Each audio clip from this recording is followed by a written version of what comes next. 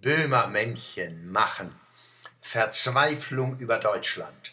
Hatten wir nicht gehofft, dass die surrealistischen Beziehungen zwischen der demokratisch-drakonischen Türkei, kurz DDT, nicht TNT, und der Deutschen Demokratischen Republik?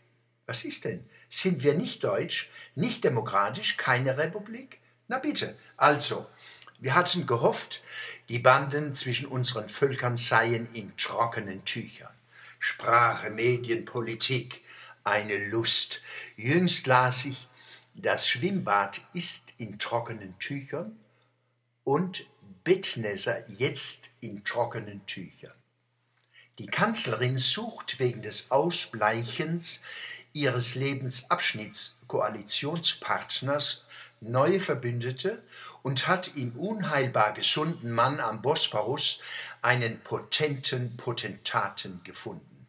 Die erste interkontinentale Koalition. Dass deutsche Politiker jetzt in Istanbul tagen, freut die Betroffenen. Die Türkei ist ein tolles Land und das Harem gar nicht heran.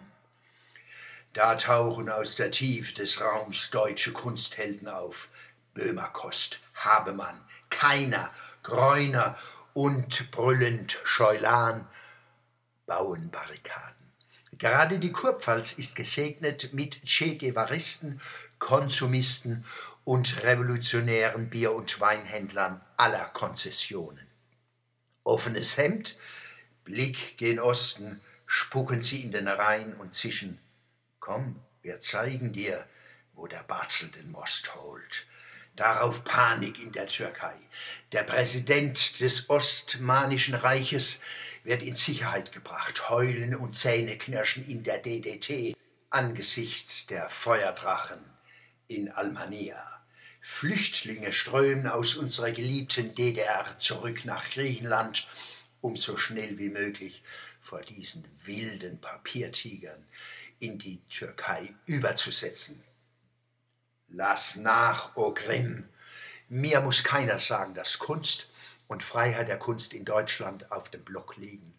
Deutsche Verfassung und Rechtsstaat werden bis zum Zerreißen gedehnt. Zur Verteidigung unserer Kultur brauchen wir aber mutige Frauen, Männer und Kinder, keine Böhmer-Männchen. Wer die infantilen Witzchen dieser Männchen mit dem Recht auf Freiheit der Kunst verteidigt, versteht weder Kunst noch Freiheit.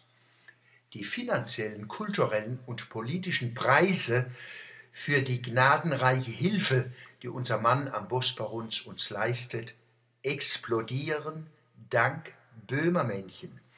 Der geistlose Brandstifter füllt weltweit die großen und kleinen Bildschirme. Man feixt sich eins, dass diese gescheiten moralischen Deutschen wieder einem Hanswurst auf den Schleim gegangen sind. Unter den Verteidigern des Künstlers Jan B. sind viele Künstler und Kunstagenten. Das sagt viel über Geisteszustände in diesen Milieus. Übrigens, kennen Sie Böhmermännchens Satz, um den es geht? Nein? Warum nicht?